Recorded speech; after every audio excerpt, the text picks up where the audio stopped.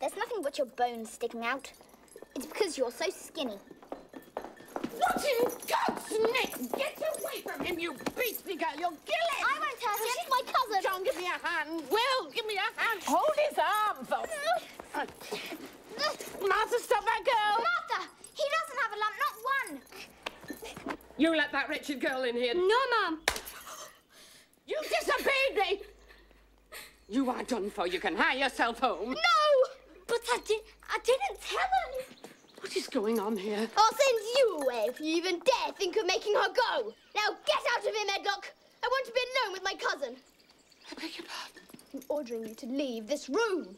Ordering me? Yes. Go!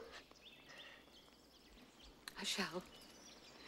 If only to prevent you from harming yourself with this hysterical shrieking. But I promise you.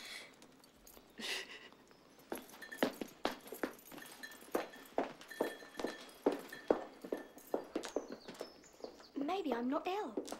I don't see how. You're just weak. Do you think I could go outside? Spores and all? I don't know anything about spores. I went out, maybe we could find the door to my mother's garden.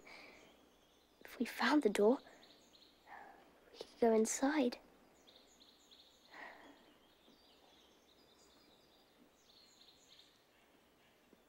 What is it? I didn't dare tell you. I didn't because I was so afraid I couldn't trust you. For sure. What? I've been in the secret garden. I found the key weeks ago. Go on. Tell me. When you open the door, you can't see anything. Then you go down some stone steps. By the time you reach the bottom, you're surrounded by flowers. Every day, new flowers open. It's like magic. Baby animals are being born,